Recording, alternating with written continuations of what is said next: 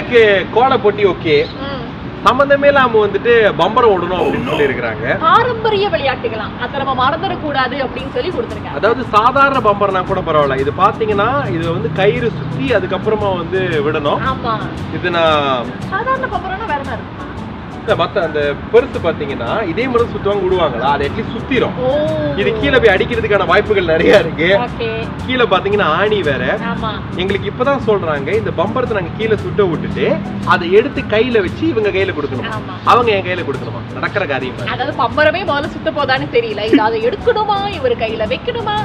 பாப்போமே இந்த அளவுக்கு போகுது அப்படின்ட்டுன்னு. ஒரு யோயோ கொடுத்துருக்கலாம். சிக்கப்பா பண்ணிருப்போம் சோ இதே மாதிரி வந்து நீங்களும் இந்த பொங்கல் அதுவுமா வீட்ல வந்து பாரம்பரிய விளையாட்டுலாம் விளையாண்டீங்க. அப்படின்னா அது ஒரு ஸ்டோரியா எடுத்து ராகா டாட் மை டேக் பண்ணி நீங்க வந்து போஸ்ட் பண்ணலாம். அதுல இருந்து நாங்க வந்து ஒரு சில பேரை தேர்ந்தெடுத்து ராகாவுடைய புத்தம் புதிய ஸ்டேஷன் டிஷர்ட் வந்து உங்களுக்கு கிடைக்கும். சோ அதெல்லாம் இது இப்படிதான் சுத்தணும் பாருங்க. ஓகே ஒரு கயிறு வந்து நீங்க இப்படி வச்சுக்கணும். வச்சுக்கிட்டு கீழே இருந்து கொஞ்சம் அந்த கயிறு மேலே இருக்கீங்களா? சுத்தாது. One, two, three. నాదృతాని నాదృతాని నీదు మయి మలనునే నాదృతాని నాదృతాని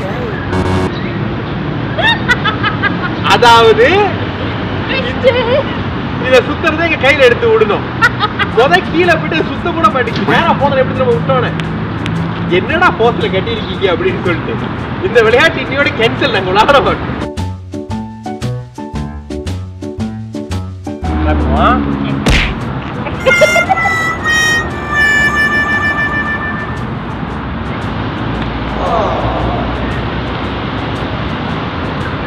நானே பரவாயில்ல.